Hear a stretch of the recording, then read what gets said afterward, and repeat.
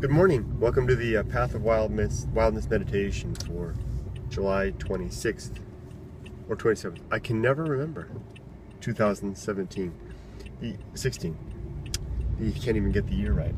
I've got to keep these shorter. Um, I've been running out of uh, memory on my camera and they've been cutting off, you know, near the end. So I'll try to keep this uh, brief. The uh, Path of Wildness meditation is a uh, daily uh, exercise to remind myself of the principles and objectives of my personal philosophy called the Path of Wildness.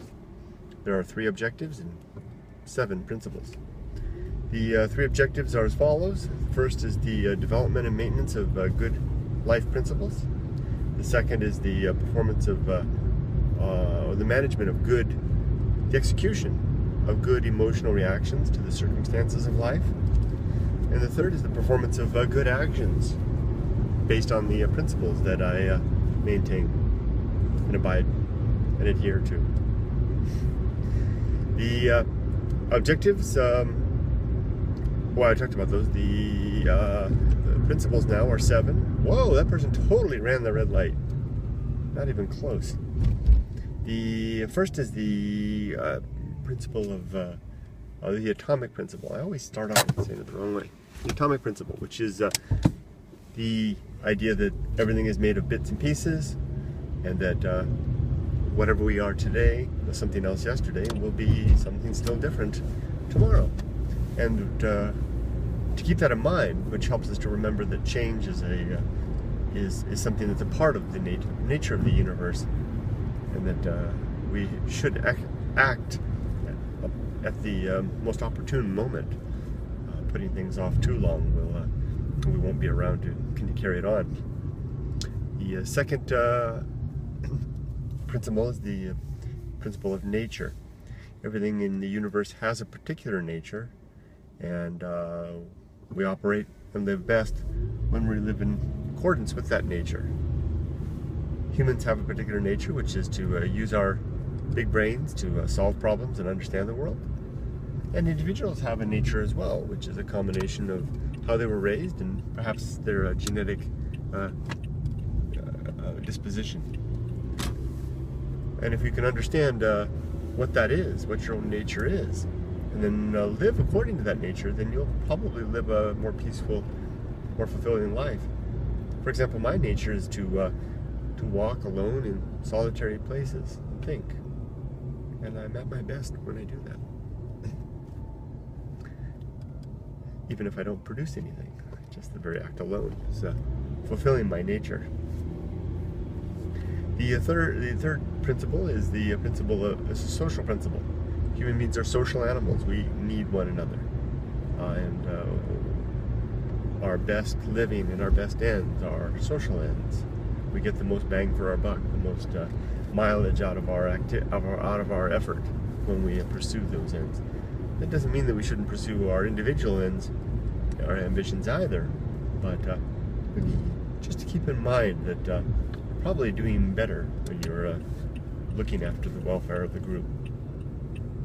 The uh, fourth principle is the principle of uh, temperance, of uh, moderating our appetites, controlling our consumption, regulating our response to our emotions.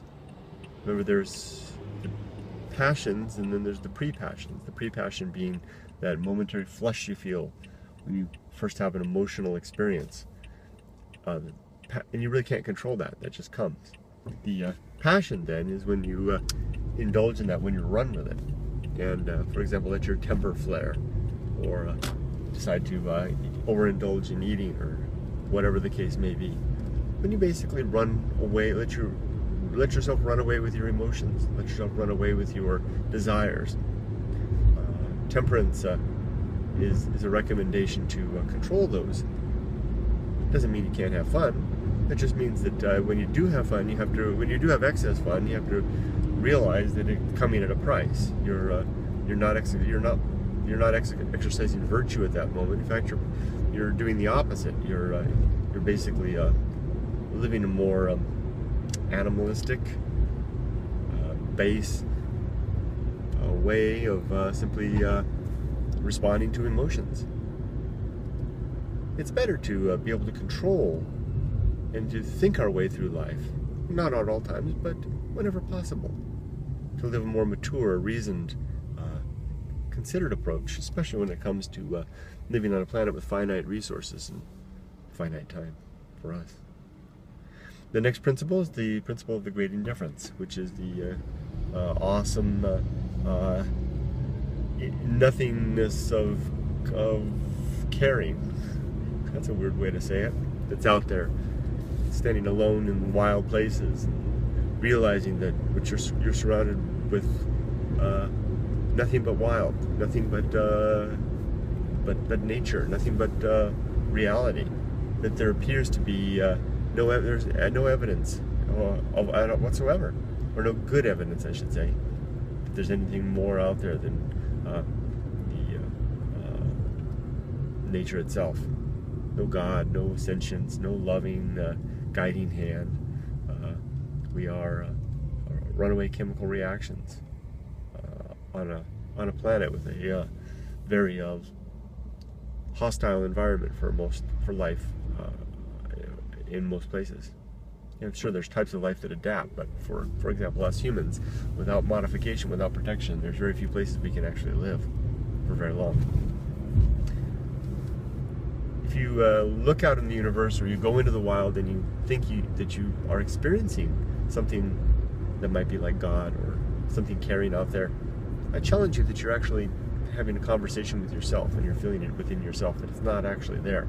And I, uh, I would love to hear your evidence to show that it's otherwise and ask you how do you distinguish between uh, an internal dialogue and uh, a, real dialogue with some outside agency.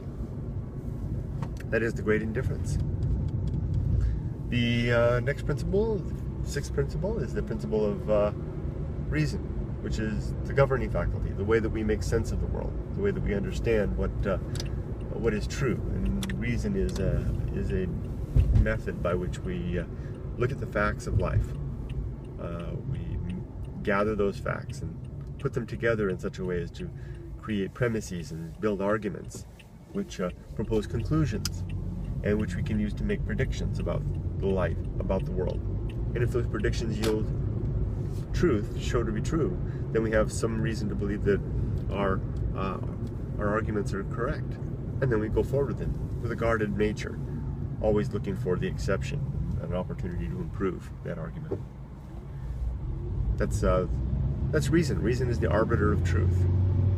And uh, finally, we have the principle of uh, virtue, which is the purpose of life.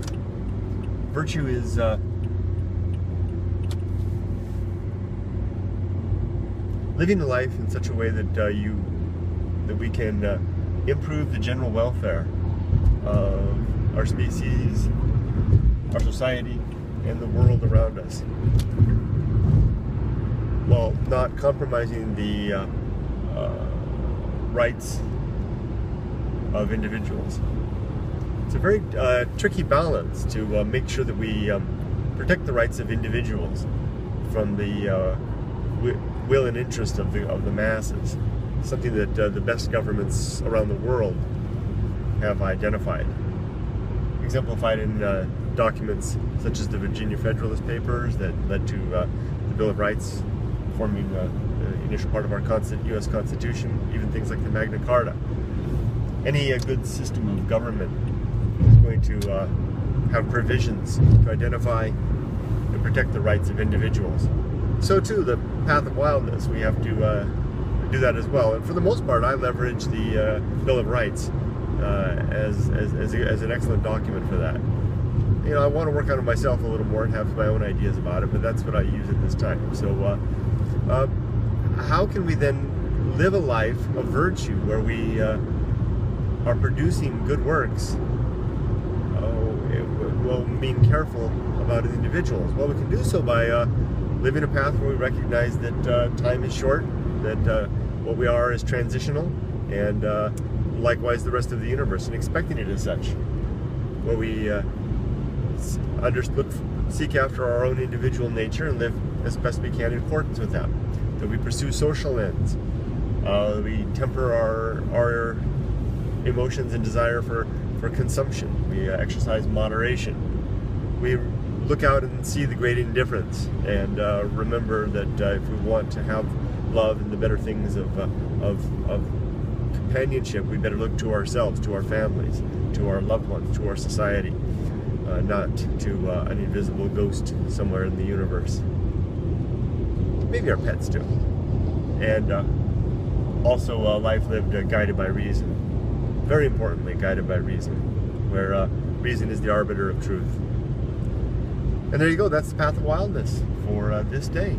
Path of wildness meditation is complete. Hey, just uh, just over 10 minutes. Pretty better time. Good time. Take care, everybody. Bye bye.